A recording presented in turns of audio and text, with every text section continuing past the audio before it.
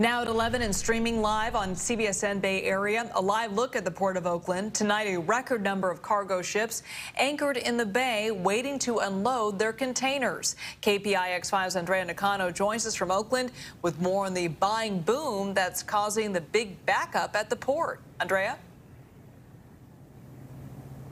Yeah, Liz, it's quite a sight to see on the bay, these large cargo ships just parked out on the water. And every one of these cargo ships has full of containers, full of items, items that might take a little while longer to get to your local store or your front door.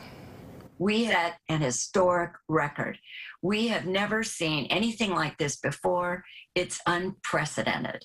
Port of Oakland spokesperson Marilyn Sandifer says this is the busiest time in the 94 year history of the port. Whenever you see container ships anchoring out in the bay know that that's unusual. Sandifer says the containers floating in the bay are loaded with items such as gym equipment, furniture, and electronics as consumers are loosening their wallets with the end of the pandemic in sight.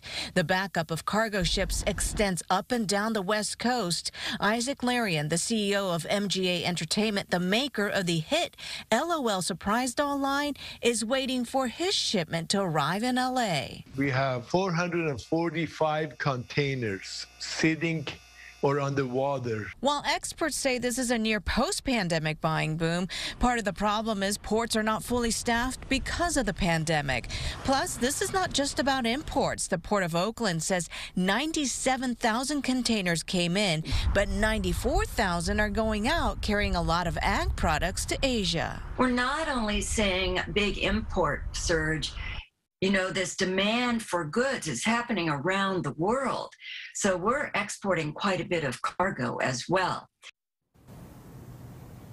So how long will this backup last? Well, experts are predicting it could last through the summer. And if that happens realistically, it can last through the whole year as the demand for imports increase right before the holiday season. Liz? So frustrating to think that the thing you ordered just a couple weeks ago is out there sitting on the bay and you don't even know when you're finally going to get it. All right, Andrea, thank you. Yeah, it's just sitting out there and there's nothing that can be done. Mm-hmm. Frustrating.